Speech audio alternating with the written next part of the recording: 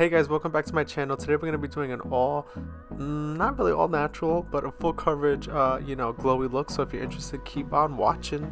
Yeah. Whoa. Alright, so here we're going to go in with the Tarte Rainforest of the Sea. Uh, these are pearlescent drops for radiance, add that glow. Oh yeah? The first thing, because uh, I was talking, was the Laura Mercier Hydrated Primer really good at smoothing the skin. I'm going to just rub this in and whoosh. Oh yeah. Alright, and now you already know my ColourPop Concealer. I love this. Basically, this is my staple. This is my foundation. This gives me the coverage I like. Um, it's medium dark 32 if you're interested.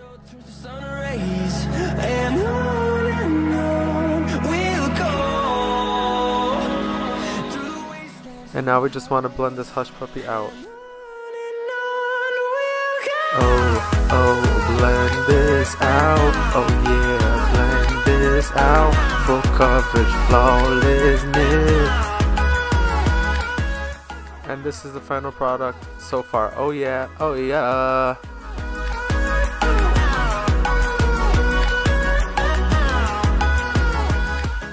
Alright, now here I'm blending with my Fenty Stick in Chestnut. This thing is amazing, smooth, flawless.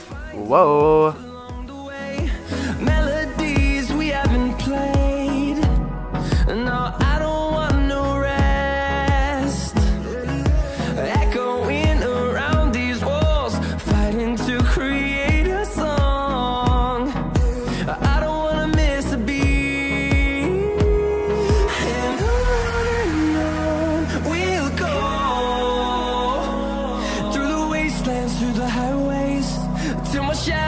Turns to sun rays and on and on we'll Alright, so here we're almost done. Now we have some definition. We can stare at ourselves for a second. We want to set this bad boy under the eye with NC40, Studio Fix Powder, add more for coverage and a little bit of brightness under there. Then we're going to follow that with NC45 just to kind of add back to those contours on our skin.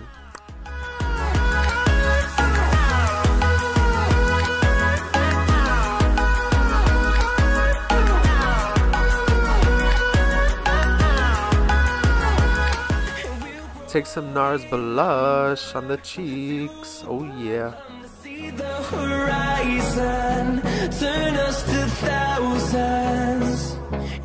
One of the saddest moments for Becca Champagne Pop.